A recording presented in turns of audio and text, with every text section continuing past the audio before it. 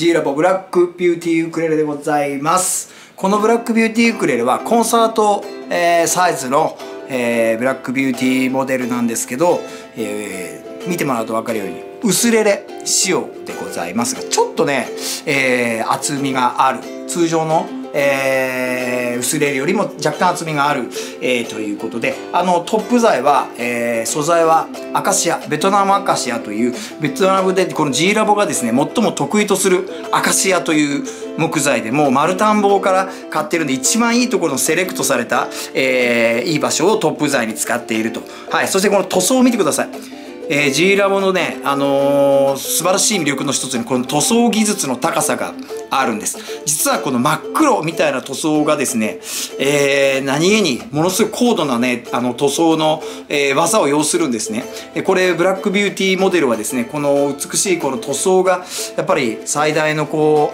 う、なんていうのかな、もうチャームポイントでございまして、はい。えー、見ていただくと分かるように、もうまるでもうピアノのようなね、ゴージャスな、この黒い、えー、まさにこうなんか妖艶な魅力。それと、えー、これ見てもらうと分かると思うんですけどこのこれ縁取りのことバインディングって言うんですけどこの縁取りがですねこのすごくこう際立つというかですねこの形が分かる浮き出るようになっててあとここの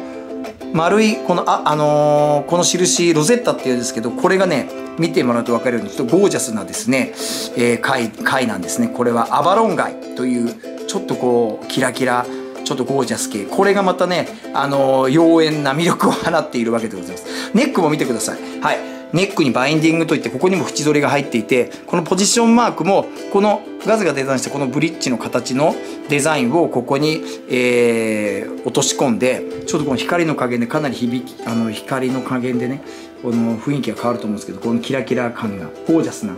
感じでございます。はい。そしてヘッドもちっちゃめですね。細くてちっちゃい。ヘッドにもバインディングといってこの縁取りがあってもちろんここも他のところに合わせたあのー、アバロン街が埋め込まれた G マークでございます。はい。このペグもガズレレ G ラボではもうおなじみの、こうストレートペグに見えますけど、後ろ6回転回す、ここが1回転回るという、えー、ギアがついている超軽量ペグなんで、あのネックがね、こうガクって下がるっていうことがね、ちょっと起こりにくいです。で、この重量のバランスもすごいいいんですね。なんで引いていて、こうすごくこう重いなっていうのもなくですね、すごくこう、引きやすいです。はい、そして、えーと、どのモデルも共通なんですけどもう限りなく引きやすい原稿ですね。原稿の高さつまりこの高さがすごい低いので抑えやすい。ですコードもね響きもすごくいいんですよね。もうやっぱちゃんとねそこはちょっとこだわっているところでございます。でフレットの長さとかピックアップありなしは選べるんですけどあのガズの場合はこの12フレット仕様にしてここの辺りですごく弾くのがすごいお気に入りなんですけどまあプレイスタイルによってここまでフレット使いたい人はそういうのもね